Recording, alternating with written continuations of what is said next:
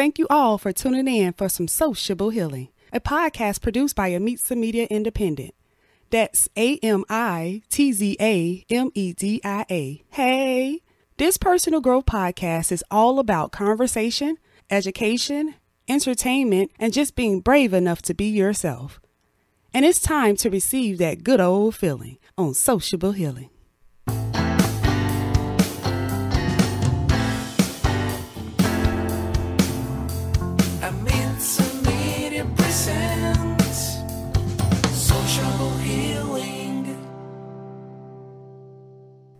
Hello, hello, hello, world. What a wonderful feeling to listen to some sociable healing, the Amitza Media podcast with your host, Teresa B.